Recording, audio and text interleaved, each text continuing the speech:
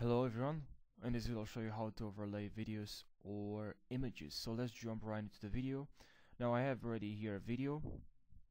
Right click on layer here and click on add layer. Add layer. Let's add a couple of layers here. And now I'll we have here a video. I like to layer to overlay um, an image. So let's grab here the image and overlay the first one. Now as you can see we have the first image here. Now over this image we can also overlay a video.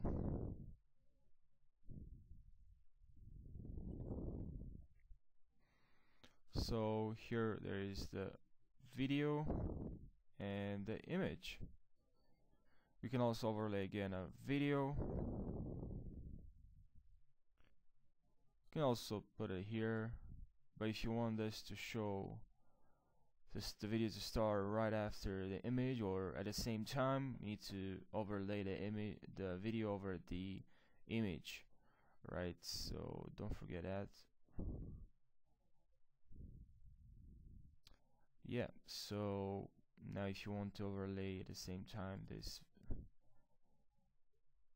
video as well you can do it as well. You can do it so that's pretty much how you overlay images or images or videos. I hope this video provides you value. Don't forget to subscribe guys for more tutorials and I'll see you in the next uh, video. Take care